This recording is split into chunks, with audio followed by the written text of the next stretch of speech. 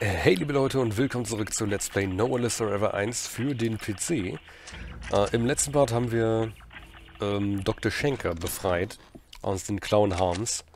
Schon wieder. ähm, man muss sagen, wir haben jetzt 19 Uhr und ich bin erst seit zwei Stunden wach. Das klingt vielleicht erstmal ein bisschen komisch, ist es auch, aber wenn man in der Nacht dann den Fernseher anmacht und plötzlich läuft X-Faktor das Unfassbare. Ja, okay. Äh, oh. Äh, dann gibt es gar keine andere Möglichkeit, als noch ein bisschen wach zu bleiben. Und hier werden künstliche Gewitter erzeugt, oder was?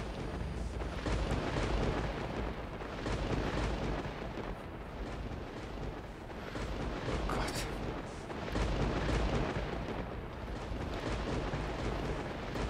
Das ist ganz schön gruselig.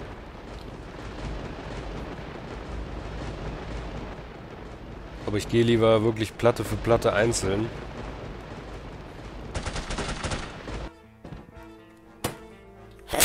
Fuck you. Als dass mir der Doktor jetzt hier gleich noch ab... Äh... Kratzt. Huh. Leck mich. So, einmal hier bitte Blitzi Blitzi, Dankeschön. Doktor, Dankeschön. Dankeschön. Warum sollte ich hier lang gehen? Weiß ich nicht. Wir probieren es mal aus. Äh. Okay, gut. Das hat sich jetzt echt gar nichts genommen, die Wege. Äh. Keine Ahnung, warum ich jetzt hier lang hätte lang gehen sollen. Habe ich aber gemacht und das ist okay. Speichern. So. Bist du noch nearby? Ja, dankeschön. Lass mal wieder durch. Switchen zum Codeknacker. Codeknackerbrot. oh, es gibt so manche Witze, dafür schämt man sich schon wenige Millisekunden danach. Aber dann ist es halt einfach schon so gewesen. Ach, da oben ist noch einer. Leck mich. Danke. Nee, das machen wir, das machen wir nochmal. Das machen wir mal anders. Ich glaube, ich habe da praktischere Waffen für.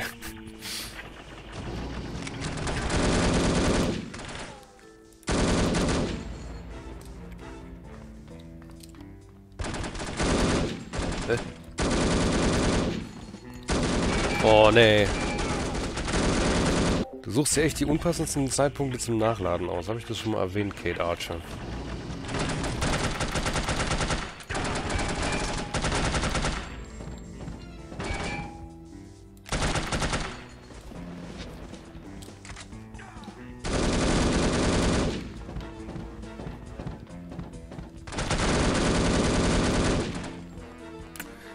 Ich wollte halt eigentlich keinen Blutschaden bekommen, aber das Problem ist, ich weiß gerade gar nicht, wie ich hier anders vorbeikommen soll. Hast so viele Gegner, die mich hier gleichzeitig abwallern.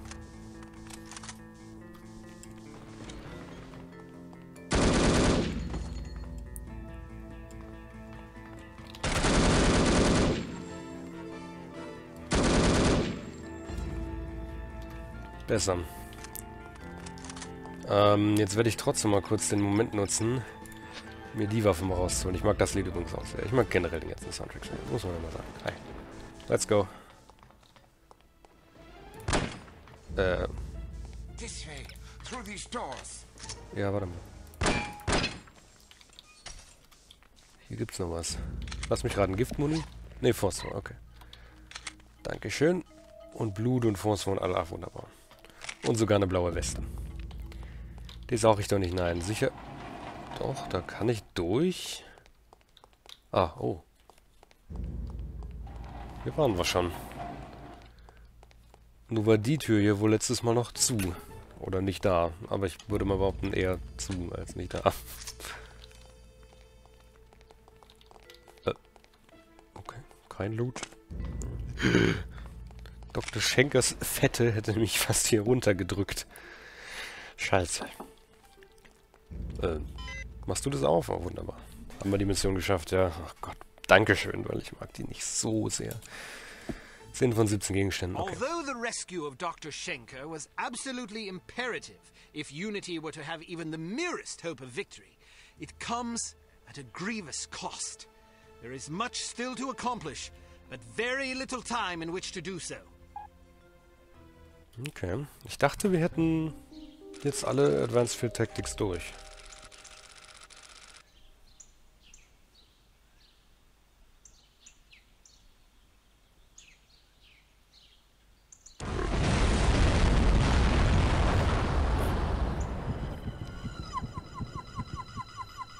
Sind wir auch nicht zum ersten Mal. 1300. This morning at exactly 9.02 a.m., there was an explosion of unknown origin in the town of Shilling, England. That's where the Baroness grew up. Well, case closed. Arrest her immediately. Scoff all you please. The source of this blast was a banker by the name of Lester Cheems.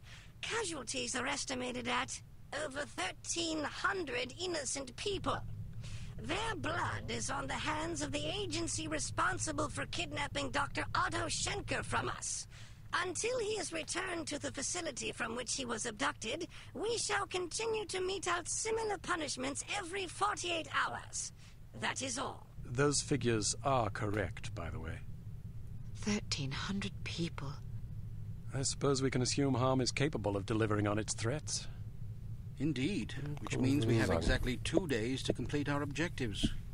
Can we have records and research find out if this Lester Cheems ever knew Felicity Farnsworth? I suppose, although I can't see that it will prove anything. You never know. Well, I, for one, am reticent to implicate a respected public figure on the basis of mere coincidence. You call it coincidence. I call it circumstantial evidence. Knowing the victim of a crime hardly qualifies as circumstantial evidence. That depends on the victim, the crime, and the circumstances, doesn't it? Enough of this bickering. Send in Dr. Schenker, if you please. Ah, here you are. Thank you for joining us, Doctor. I hope your accommodations are adequate. Exceptional, thank you. Hello again, Miss Archer. Hello, Doctor. I'm sorry there wasn't time to brief you sooner, but I imagine you've already heard about this morning's disaster. I have. Then I'm sure you can understand the need for alacrity in devising a plan of action. Harm has promised another attack within the next 48 hours unless we hand you over, which imposes a rather daunting deadline. How can I help? We need to know who Harm has infected with the reagent. And we need the antidote. Unfortunately, I cannot help you with the first problem. I was never told how the reagent was being used or on whom. I'm afraid it would not make much difference, even if I had. I'm terrible with names, you see. What about the antidote? Ah, yes, that is also a problem. You see, the antidote is highly unstable and can therefore only be produced in a zero gravity environment. You mean outer space? Quite so. So, in other words, Harm was lying about having the antidote. Not true. They do have it. So they stole it? They developed it. But how's that possible? Harm has its own space program. That's preposterous. Not necessarily. A few weeks ago, the US branch reported an unscheduled rocket launch from a small tropical island off the coast of Mandaru. Are you sure it wasn't the Soviets? It's certainly possible, although we have plenty of spies in the Soviet Union and none could confirm a launch. This is starting to sound like circumstantial evidence, Mr. Smith. Agreed, but it's the only lead we have. If it is harm, I certainly can't explain where the funding and materials are coming from. Maybe the Soviets are involved. At the moment, all that matters is that we get our hands on that antidote. Very well. Archer, your job will be to locate and infiltrate the launch facility and recover a sufficient quantity of the antidote for our purposes. Assuming this is even the right place. Yes. Understood. We'll give you a radio frequency to use in case you need to contact us. Your code name will be Foxhunt. Ours is Foxhound. Did Bruno tell you that story? Yes, he did. What story? When Archer was a girl, her father took her on a fox hunt. The fox got away. Fascinating, but I fail to see the relevance. In her other occupation, Archer was known as the Fox. As Bruno told it, you were so impressed with the fox's escape from such a dire predicament, you adopted it as a personal symbol. Is that right? Something like that. That sort of resourcefulness would certainly serve us well right about now. What an amusing anecdote. Shall we take turns telling stories? Or shall we get back to the mission at hand? When do I leave? As soon as possible. Let's just hope I find myself in harm's way, if you take my meaning. If we're wrong about this, there will be hell to pay. Good luck, Archer. We're counting on you. Ah ja, doch, ich erinnere mich hier an. Ähm, auch so eine kleine Sache, ich muss mich mal ganz kurz um meinen Kader kümmern, sofort. Äh, ich will nur kurz noch eine Sache fertig erzählen. Ähm, kleine interessante Geschichte. Wie gesagt, ich ziehe hier und da viele Vergleiche mal zu James Bond Nightfire, was zwei Jahre später erschienen ist.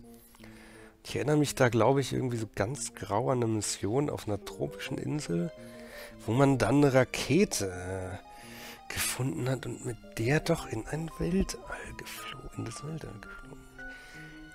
Hm. Gut, dann erstmal danke dafür. Äh, mein Detektor. Naja. Ähm, kurze Sache noch. Ich, äh, auch jetzt kommt noch mal ein Levelkomplex, den ich ehrlich gesagt nicht so sehr mag. Äh, ich dachte allerdings, das wäre der mit dem Zug gerade, weil an dem mit dem Zug und das alles, an den konnte ich mich jetzt wirklich gar nicht mehr erinnern. Also das war gerade wie, pf, als hätten sie die Mission hinterher reingepatcht und ich wüsste nichts davon, was aber nicht der Fall ist. Ähm, ja, das ist jetzt eigentlich der Levelkomplex, den ich meinte, den ich nicht so sehr mag. Und alle, an alle, die Angst haben, dass das Spiel noch ewig lang ist, ähm, nur mal kurz an die, die es wissen wollen. Die müssen dann mal zuhören. Die nächsten, sobald ich, sobald ich das nächste Mal schnipse, dann einfach mal kurz 15 Sekunden weghören, für die, die es noch nicht wissen wollen. Äh, ich werde gleich einmal kurz sagen, ähm, wie viele Levelkomplexe aus meiner Erinnerung ähm, noch kommen. Oder Level und Levelkomplexe. Ähm, wobei ich mich allerdings irren kann, weil ich nicht mehr alles perfekt in Erinnerung habe. So. Also ich schnipse jetzt gleich, dann mal kurz 15 Sekunden weghören. Ich muss nur auf meinem Timer noch auf eine gute Zeit achten, dass ich das jetzt hinkriege. So, also wenn mich nicht alles täuscht, kommen noch insgesamt drei Levelkomplexe und einmal noch ein etwas, ähm, also nur, also ein, ein Levelkomplex, sage ich mal, der nur aus einem Level besteht sozusagen. So. Gut, damit sind die 15 Sekunden rum. Gehen wir jetzt einmal hier durch, ohne eine Mine auszulösen. Step.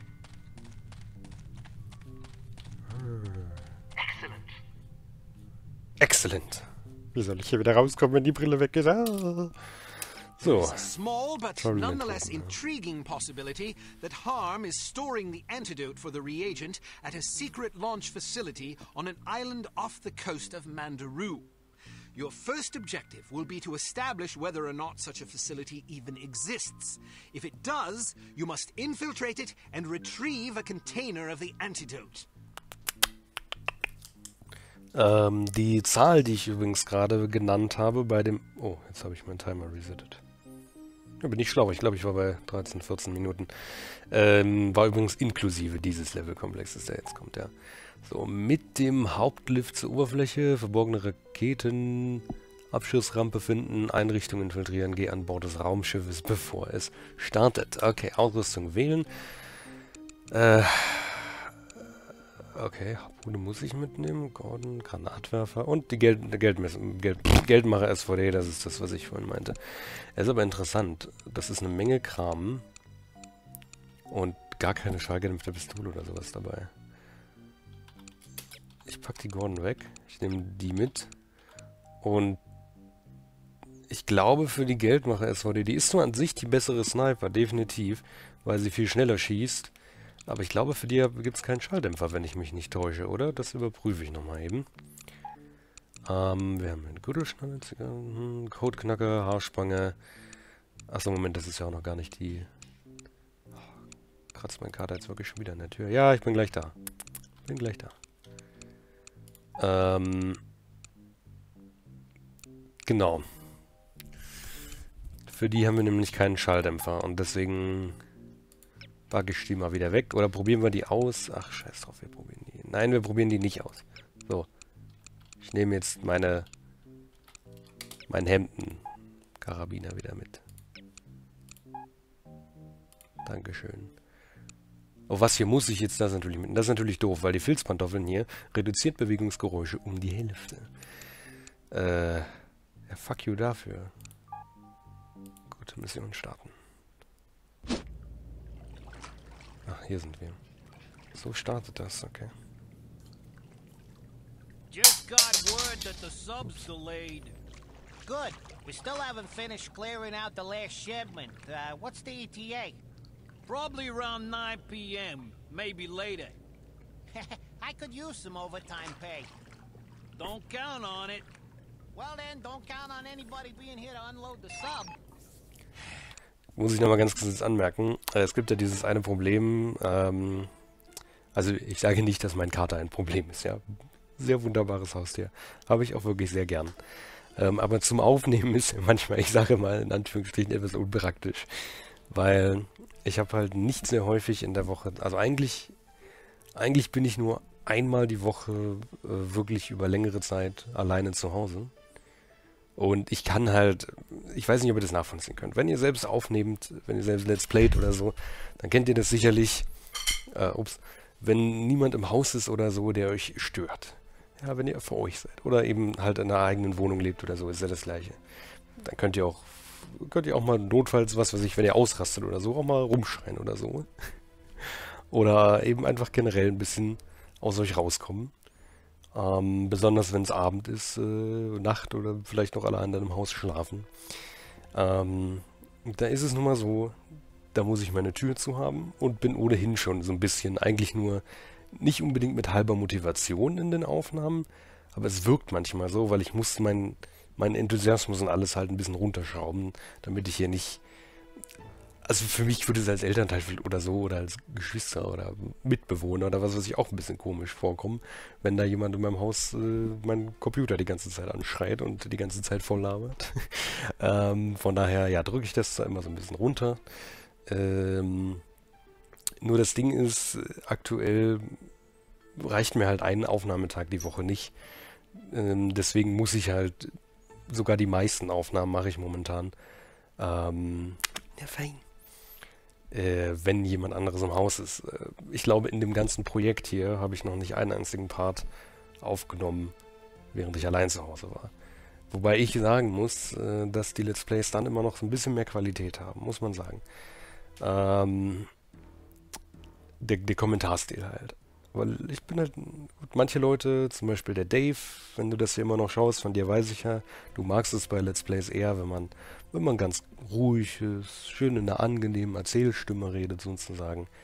Aber ich finde es halt auch immer ganz schön und auch ganz lustig, wenn man dann halt mal, ja, eben auch mal ein kleines bisschen lauter wird. Muss ja nicht konstant sein, ne? Äh, so, worauf ich jetzt eigentlich hinaus wollte.